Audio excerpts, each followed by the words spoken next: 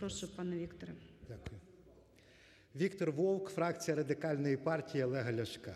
Шановні громадяни, минулого тижня лідер Радикальної партії взяв участь у 10-му Київському безпековому форумі, цій представницькій площадці з обговорення питань глобальної та європейської безпеки за участі провідних світових політиків та експертів. У своєму історичному виступі Олег Ляшко висловив наше бачення адекватної стратегії демократичного світу в умовах зростаючої агресії путінської Росії. Хочу ознайомити вас з його головними тезами.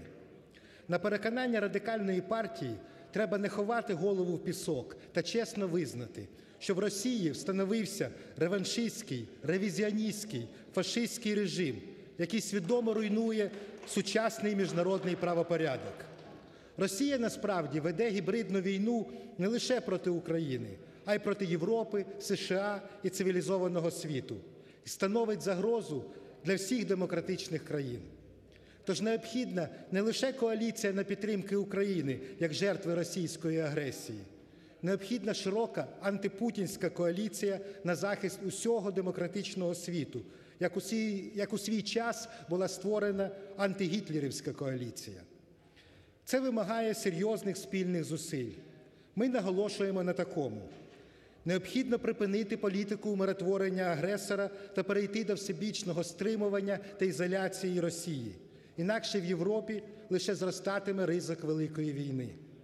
Важливо продовжити, розширити та поглибити санкції проти Росії, особливо запровадити жорсткі економічні санкції.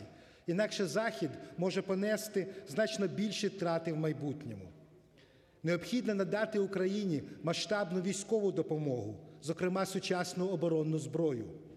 Потрібно відновити Женевський формат переговорів за участі України, США, ЄС та Росії замість надто вузьких нормандського та мінського та розширити його іншими ядерними державами, учасниками Будапештського меморандуму. Необхідне прийняття Заходом стратегічного рішення щодо майбутнього України як невід'ємної складової частини європейської цивілізації та виділення масштабних ресурсів військових, фінансових, економічних, технологічних для європейської інтеграції України, зокрема для реалізації новітнього плану Маршала для України. Зрештою, необхідно виграти у Росії у проголошеній нею Другій холодній війні з метою остаточної пацифікації та демократизації Росії, як це було зроблено з державами-агресорами Німеччиною та Японією після Другої світової війни. Радикальна партія переконана, українці сильний народ. З допомогою вільного світу ми вистоїмо і переможемо. Дякуємо. І зараз народний депутат Артюшенко, будь ласка, до слова.